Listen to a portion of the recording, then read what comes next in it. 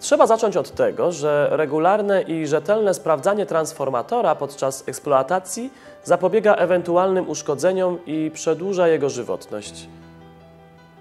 Podczas pracy transformatora dopuszcza się tylko wykonywanie czynności związanych z jego obsługą i drobnymi naprawami, które mogą być wykonywane z poziomu obsługi, np. pobieranie próbek oleju z kadzi i przełącznika zaczepów do badań, konserwacja i naprawy w szafach sterowniczych przełącznika zaczepów i układu chłodzenia, wymiana absorbentów w odwilżaczu silika-żelowym, kontrola i wymiana silników wentylatorów w miarę technicznych możliwości.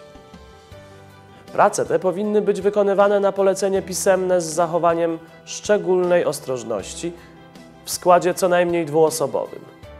Prace konserwacyjno-remontowe należy przeprowadzać w oparciu o zalecenia przeprowadzanych oględzin i wyników badań okresowych.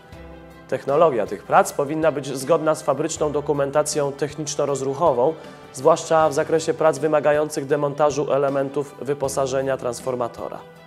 Zakres prac konserwacyjno-remontowych obejmuje przegląd obciążeniowego przełącznika zaczepów, przegląd odwilżaczy silika żelowych i wymiana absorbentu, oględziny oraz czyszczenie izolatorów przepustowych, przegląd pomp olejowych w transformatorach grupy pierwszej i drugiej, kontrolę oraz konserwację silników i wentylatorów, konserwację oraz sprawdzanie urządzeń zabezpieczających i sygnalizacyjnych, uzupełnianie poziomu oleju w transformatorze, konserwację styków, połączeń śrubowych i uzupełnienie pokrycia antykorozyjnego, kontrola uszczelnień olejowych kadzi i osprzętu, usunięcie innych stwierdzonych usterek.